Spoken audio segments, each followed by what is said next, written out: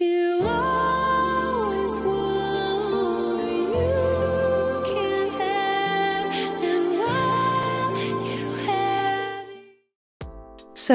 the Galaxy S22 Ultra leaks are getting strengthened as we're moving toward the Unpacked event for the S22 handsets that will happen in under two months of time. Today, we have two or three intriguing leaks about the Galaxy S22 lineup, one of which straightforwardly further develops your user experience. I'll discuss that in a moment.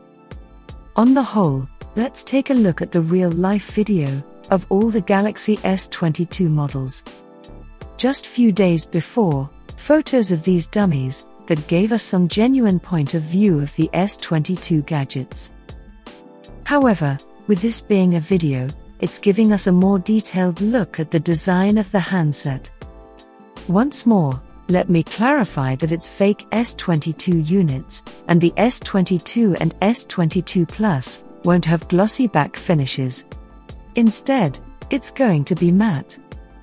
In any case, aside from that, the S22 gadgets are relied upon to resemble this. As of late, we heard gossip that the Galaxy S22 and S22 Plus will look more like the iPhone 13 without a notch. Obviously, the gossip was alluding that the front and back of the handsets will be absolutely level. Something we see here in the fake units. Additionally, the size or the casing look not so much round, but rather more like the edge of the Z Fold 3, which is almost flat.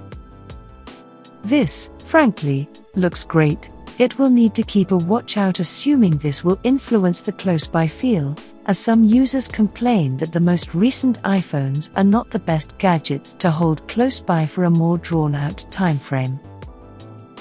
The S22 Ultra or the S22 Note looks thicker than the other two phones and surprisingly contrasted with the Note 20 Ultra.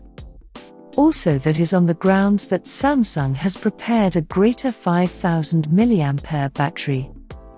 All things considered, Samsung's leads offer great charging speeds. It's not as good as its Chinese partner, but rather at 25 watts, the most recent Samsung leaders go from 0 to 100 in with regards to 60 minutes. Samsung is likewise said to speed up to 45 watts on the S22 Ultra, however, wireless charging on Samsung phones is still somewhat slow contrasted with what others are doing. That is to say, the most that the Galaxy S21 series can uphold wirelessly is 15 watts, and that is not terrible, however, it isn't great by the same token. Fortunately, it seems as though that is going to change with the S22 setup.